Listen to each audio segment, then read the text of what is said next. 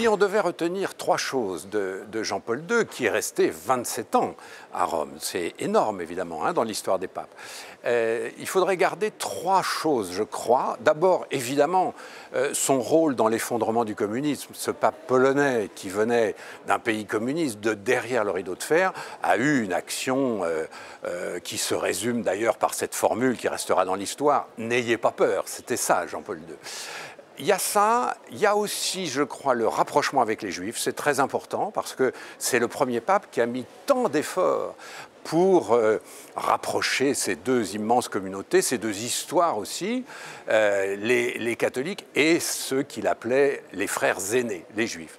Et puis il y a un troisième point euh, qui est très important aussi, c'est la jeunesse.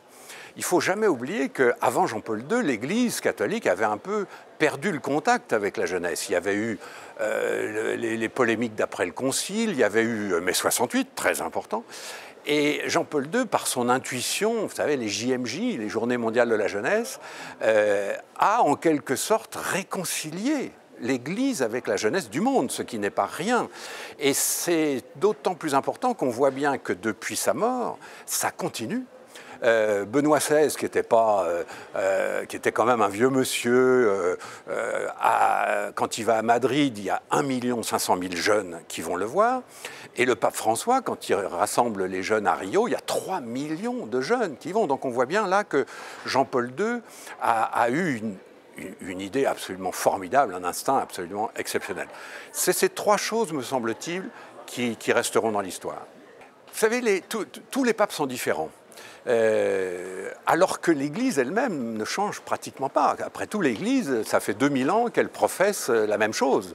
La révélation, comme on dit, le dogme, si on veut, alors que tous les papes sont différents. On a bien vu qu'après Jean-Paul II, euh, pape un peu prophétique, on a eu Benoît XVI, qui était plutôt un théologien, un prof d'université, et puis là, on a un pape un peu époustouflant, qui est un pasteur, qui arrive du sud, qui arrive de, Buenos Aires, et euh, qui de temps en temps, euh, bouleverse un petit peu nos, nos, idées. Euh, et après tout, tant mieux si un pape fait bouger les choses. Donc vous voyez, tous les papes sont différents. Jean-Paul II restera probablement euh, un des géants de la fin du XXe siècle, incontestablement. D'abord parce qu'il est resté longtemps, et puis parce qu'il a incontestablement imprimé sa marque à l'histoire.